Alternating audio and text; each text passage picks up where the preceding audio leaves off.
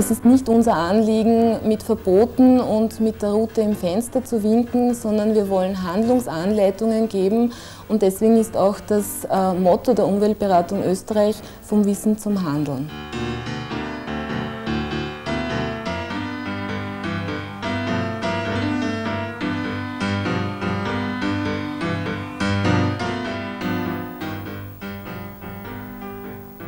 Umweltberatung ist eine moderne Serviceeinrichtung für vorsorgenden Umweltschutz, die auch ökologische Beratung anbietet.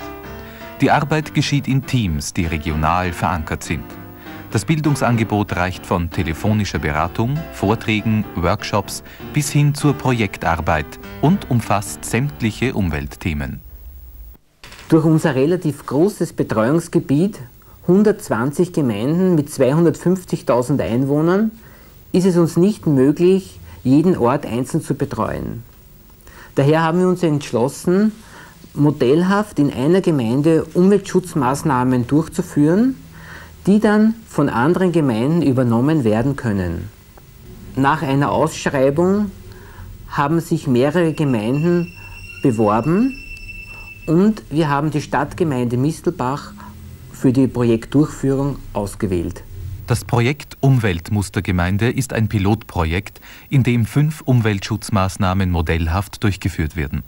Es sind dies Abfallöffentlichkeitsarbeit, Eigenkompostierung, Solaranlagen Selbstbau, Hausbauseminar, Reinigungsmittelumstellung in Großhaushalten. Ziel des Projektes ist es, dass nach dem Motto vom Wissen zum Handeln für möglichst viele Gemeinden und Bürger Impulse zu attraktiven, aktuellen Umweltschutzaktivitäten ausgehen. Mistelbach liegt im nordöstlichen Niederösterreich.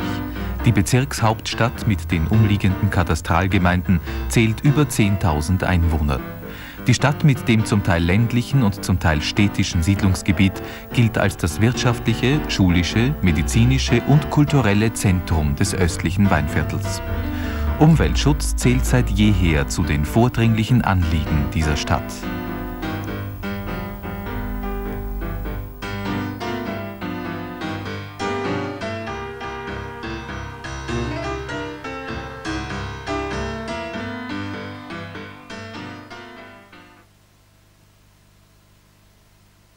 In der Gemeinde Mistelbach ist eigentlich die Frage Umwelt schon ein Thema, das sehr viele Jahre hindurch behandelt wird. Also wenn ich da denke an unsere grüne Straße, die in die 70er Jahre schon gemacht worden ist und Mülltrennung führen wir schon sehr, sehr lange durch.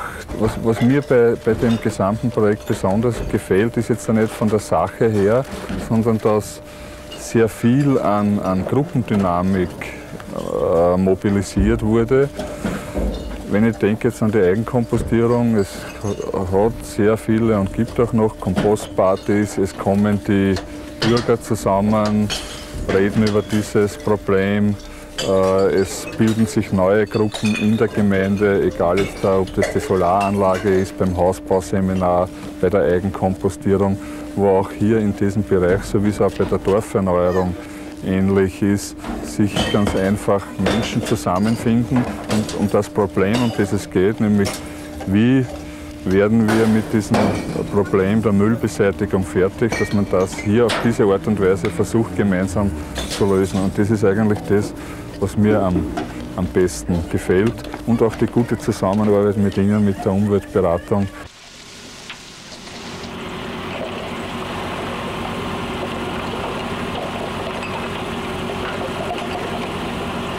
Also wir befinden uns hier auf der Mülldeponie in Ames.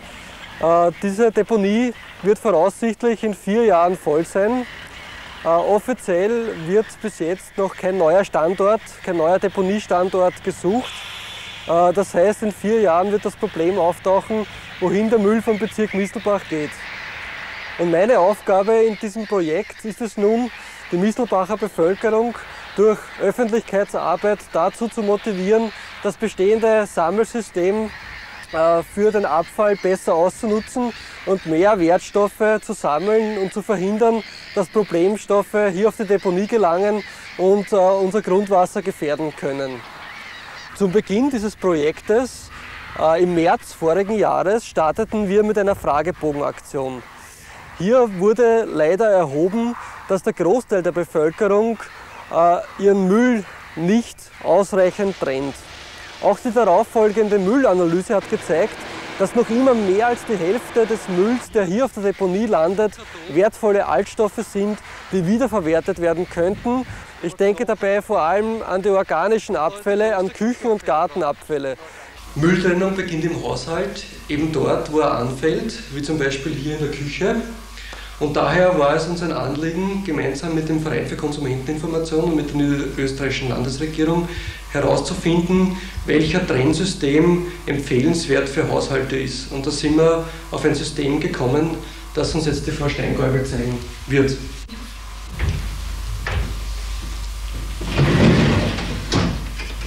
Wir haben ein System gesucht, das wir unter der Abwäsche montieren können und haben uns dann für dieses System entschieden.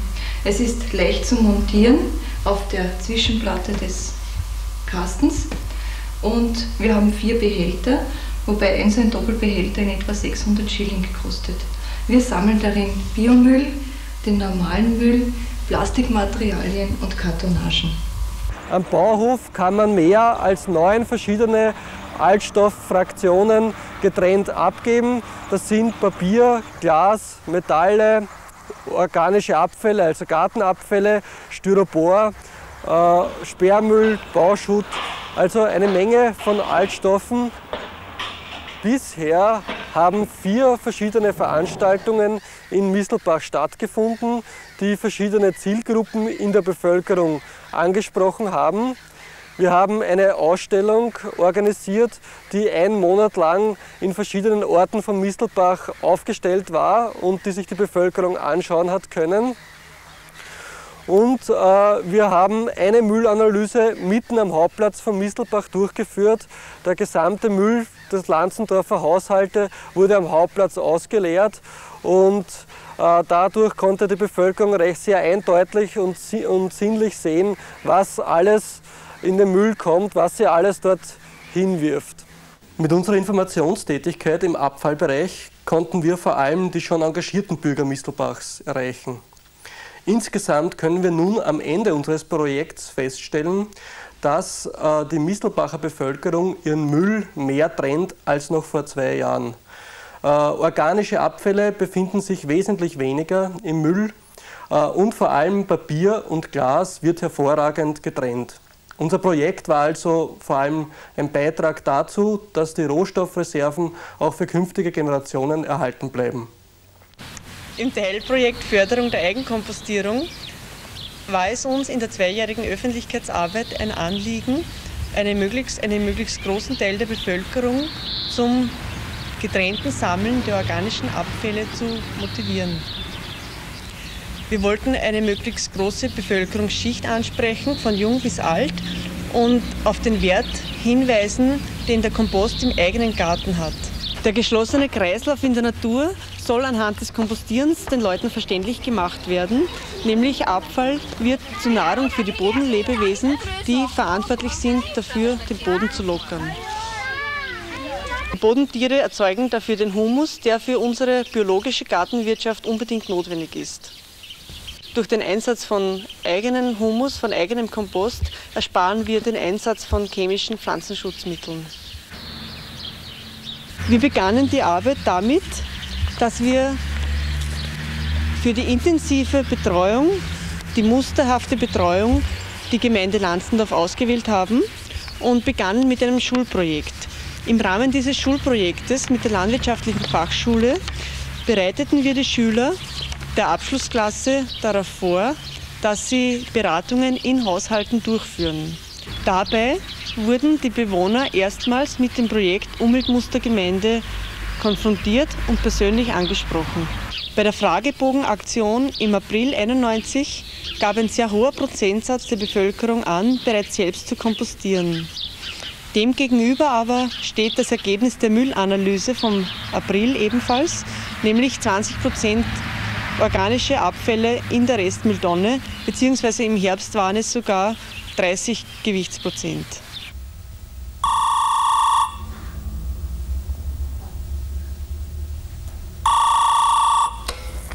Ja, grüß Gott, Umweltberatung Weinviertel, Christopher. Und, und die Frage ist jetzt, was Sie kompostieren können. Ja, na, auf jeden Fall aus der Küche die ganzen ähm, organischen Abfälle. Ja, also Sie sagen, Sie kommen aus Eibistal, ja, das trifft Sie ganz gut. Da haben wir nächste Woche eine Kompostparty. Bei acht Kompostpartys, in denen das Kompostieren praktisch vorgezeigt wurde, fand ein reger Austausch über Erfahrungen, Fehler und Erfolge beim Kompostieren unter der Bevölkerung statt. Um die Maßnahmen, die wir in der Gemeinde Lanzendorf durchführten, auch in die anderen Gemeinden, Ortsteile von Mistelbach weiterzutragen, haben wir Kompostfachkundige ausgebildet, mit dem Ziel, dass in jedem Ort ein Ansprechpartner für die Bürger zur Verfügung steht für die Fragen zum Thema Kompost. Verschiedene Aktivitäten haben wir bei regelmäßigen kompostfachkundigen Stammtischen geplant und koordiniert. Ich bin eigentlich äh, durch den Gemeinderat Böhm, also Umweltgemeinderat Böhm, dazu gebracht worden, als Kompostfachkundiger äh, äh, mitzutun, also den Kurs mitzumachen. Ne? Und zwar aus ganz einfachem Grund. Er ist bei mir vorbeigekommen, weil er was braucht hat und ich habe den Garten also einen Riesenhaufen an kleine Äste und so Zeug angezündet. Ne? Und dann sagt er, um Gottes Willen, ja, das geht ja kompostiert. Dann sage ich, was weiß ich. Ich habe zwar schon kompostiert, ja, aber nur so das kleine Zeug. Ja, das, das kann man auch. Mach einen Kurs, jetzt redet einer. Na gut, dann bin ich hingerannt zum Kurs. ja, und siehe da, da habe ich sehr viel gelernt. Weil was ich zuerst falsch gemacht habe, so um 180 Grad hat sich das Draht und auf Jahr habe ich einen guten Kompost zusammengebracht. Ne? Ich suche nämlich das Gespräch über den Kompost aus. Ja? Und irgendwie ist aber beim Stammtisch in einem Sonntagvormittag oder so privat und, und was ich, sind schon auch die sagen, okay, lass mir jetzt einmal den Campus anschauen. Weißt du, oder weil so viel geredet hast davon. Ne? Und da komme ich in den Garten und dann schauen wir sich den Garten an und sagt er, ist eigentlich eine gute Sache, muss ich auch probieren. So, ich glaube, dass in Rastauf das Projekt zurzeit gut läuft. Wir werden jetzt im Frühjahr wieder einen Häcksel Dienst durch Werte durchführen. Es ist schon sehr viel Material da, es passt fast nichts mehr am Platz. Der Häckseldienst ist ein zentrales Standbein bei der Förderung der Eigenkompostierung. Die Kompostierung vor Ort ist ökologisch und ökonomisch die sinnvollste Art zu kompostieren. Und der mobile Häckseldienst ist dabei eine sehr gute Unterstützung. Das Material wird vor Ort zerkleinert und gleich wieder im Garten entweder zum Mulchen oder für den Komposthaufen verwendet. Die Firma Öko-Recycling betreibt hier einen privaten Excel-Service. Eigentlich sollte man besser sagen Schredderdienst, weil dieser, dieses Gerät, das wir einsetzen, ein Schredder ist, der das Material so schön zerfasert. Wir haben im konkreten Fall den Auftrag von der Stadtgemeinde Mistelbach, die diese Sache auch finanziert. Den Häckseldienst haben wir jetzt führen wir ihn zum vierten Mal durch im Frühjahr. Wir haben an die 22 Anmeldungen jedes Mal gehabt. Die Leute haben es wirklich genossen, dass das eigene Material zerkleinert wird und zu Hause wiederverwendet werden kann und dass daraus etwas wird. In zwei Orten in der Großgemeinde organisieren die Kompostfachkundigen einen zentralen Häckseldienst. Die Gartenbesitzer bringen das Material an einen zentralen Ort. Baum und Strauchschnitt wird dort von einem großen Häcksler zerkleinert und das Material kann wieder mitgenommen werden. Zusätzlich zum Häckseldienst wurde ein Obstbaumschnittkurs veranstaltet. Dafür gab es über 100 Anmeldungen, sodass der Kurs geteilt werden musste. Es wurden die Grundlagen des Obstbaumschnittes in Theorie und Praxis vermittelt. Eine Exkursion zu einem Kompostfachmann mit langjähriger Praxis bei der Eigenkompostierung wurde für alle Bürger der Stadtgemeinde angeboten. Die Wanderausstellung Kompost sollte alle Besucher inspirieren, selbst zu kompostieren. Sie konnte eine Woche lang in einer Bank in Mistelbach besichtigt werden. Lehrmaterialien speziell zu den Themen Kompost und Garten konnten jeweils für zwei Monate bei den Kompostfachkundigen entliehen werden. Nun stellt die Stadtbibliothek diese Materialien kostenlos zur Verfügung. Kinder sollten von Anfang an beim Kompostieren mit einbezogen werden und dadurch erfahren, wie Kompost entsteht und wofür wir diesen hochwertigen Humus brauchen. Neben einem theoretischen Teil soll praktisches Erfahren und spielerisches Erleben im Vordergrund stehen.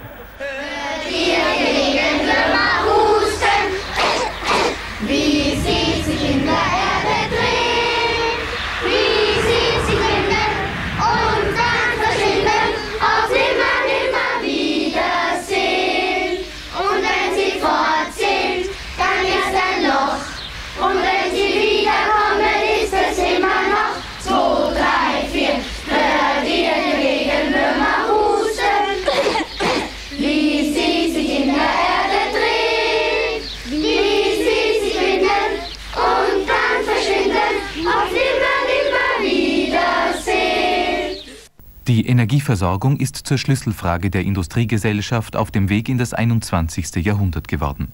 Der allergrößte Teil unserer Umweltprobleme geht auf die Verfeuerung fossiler Brennstoffe zurück. Aus diesem Grund werden wir in Zukunft andere, umweltfreundliche Energieformen verstärkt einsetzen müssen.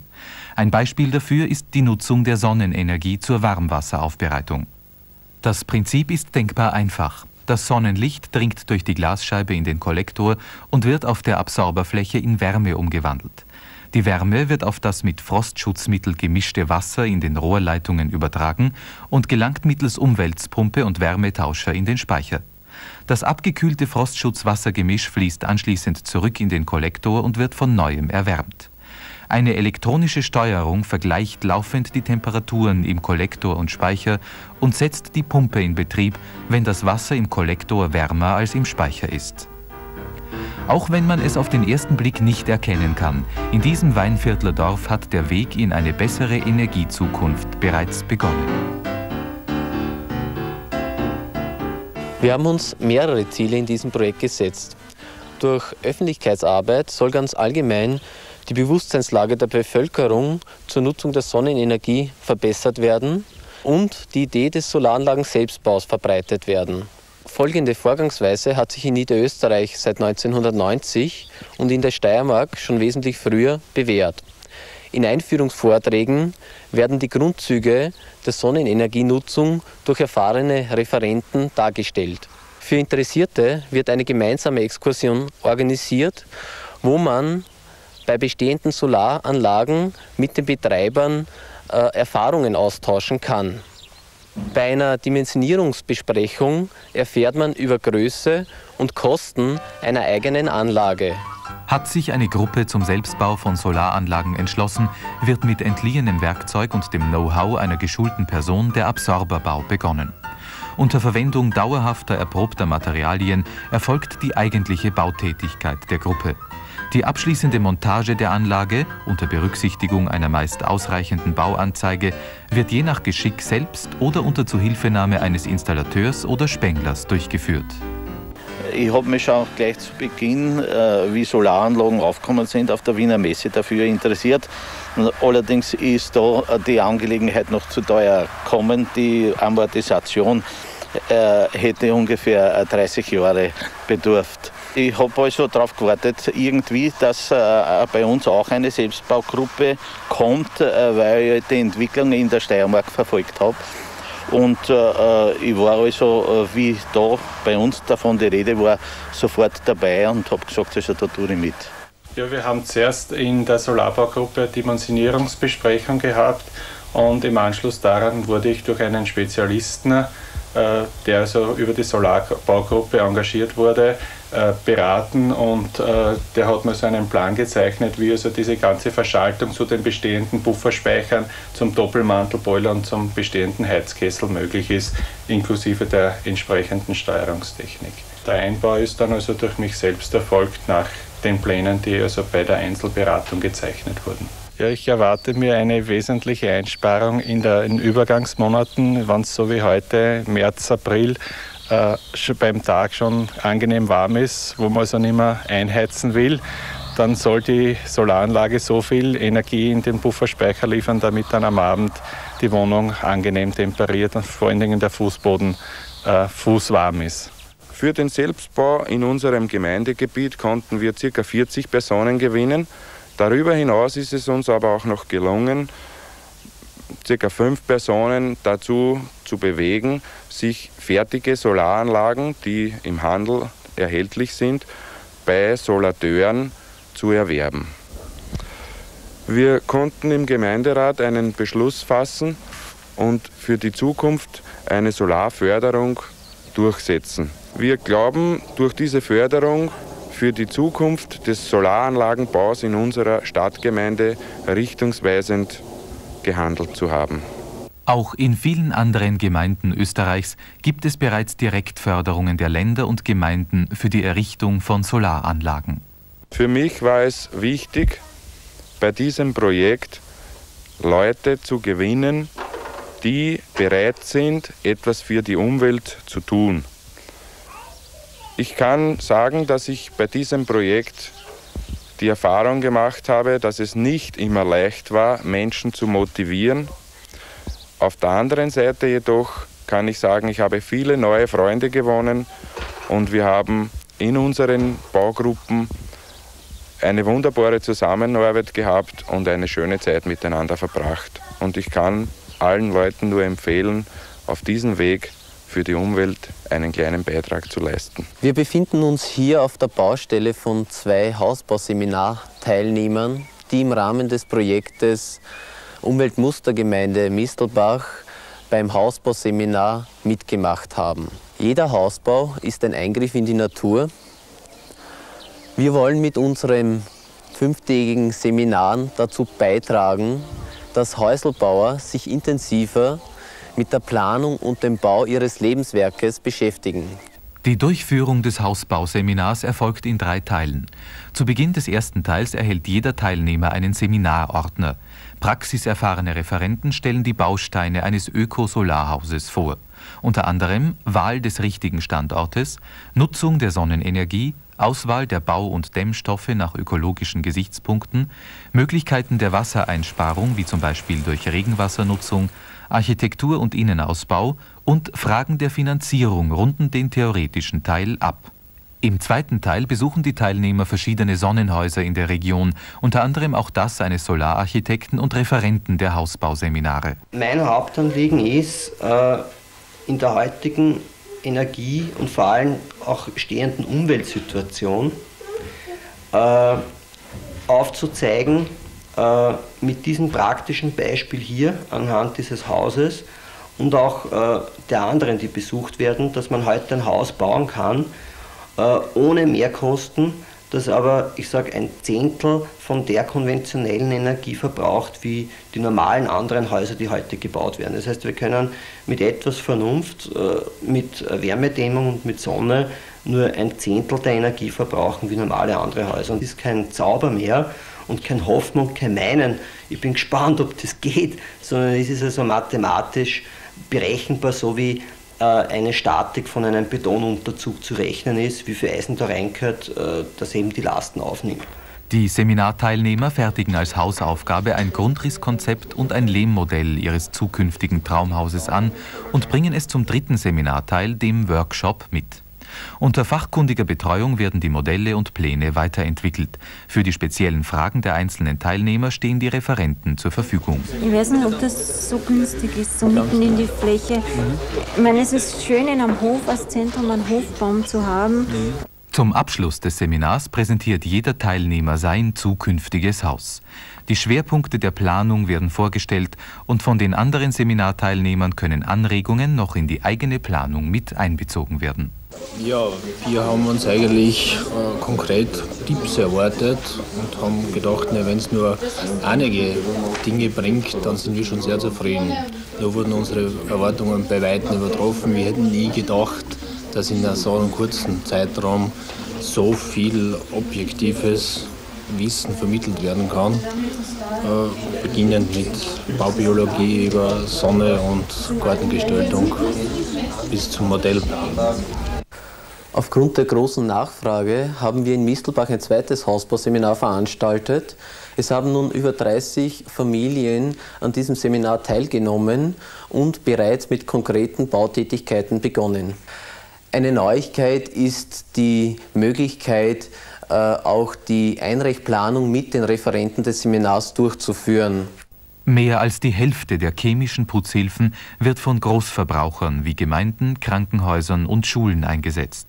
Die Tendenz, Mechanik, also letztlich Arbeitszeit, durch Chemie zu kompensieren, ist steigend.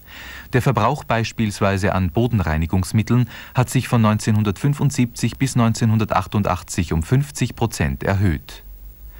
Der Bereich der gewerblichen Reinigung bzw. der Großverbraucher war bisher von jeglicher Diskussion ausgespart.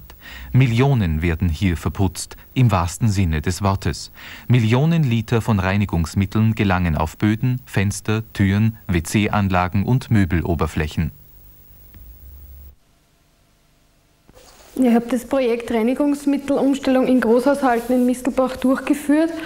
Das war im Wesentlichen ähm, einmal zu schauen, was ist denn hier, was wird denn hier verwendet an Produkten, wie wird gereinigt, welche Geräte stehen zur Verfügung, in welchen Intervallen wird gereinigt und welche Probleme gibt es.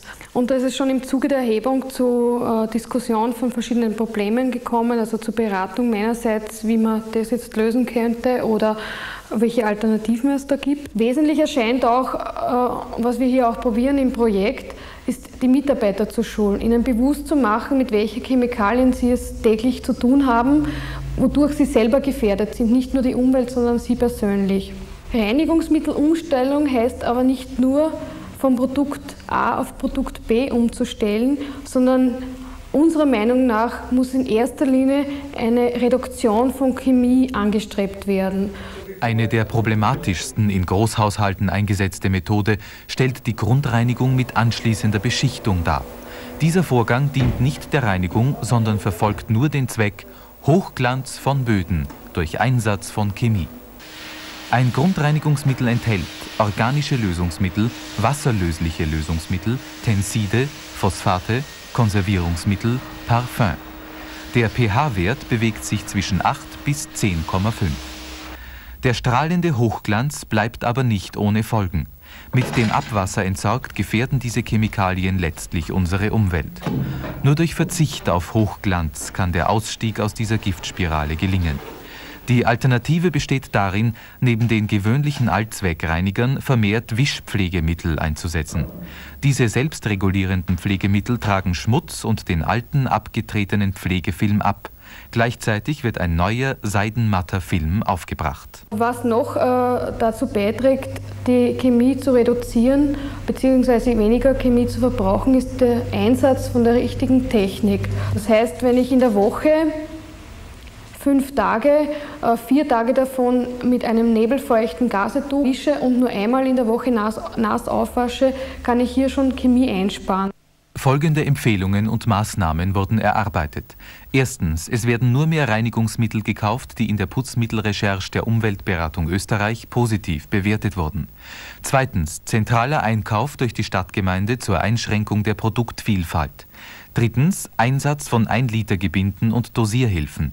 Viertens Beauftragung einer Person in der Gemeinde, die für alle Belange der Reinigung wie zentraler Einkauf, Lagerung, Verteilung sowie laufende Information zuständig ist. Fünftens Zwischenreinigung statt Grundreinigung mit anschließender Beschichtung. Sechstens Verzicht auf routinemäßige Desinfektion. Siebentens Öffentlichkeitsmaßnahmen wie zum Beispiel Elternbriefe, Schulstunden, Vorträge.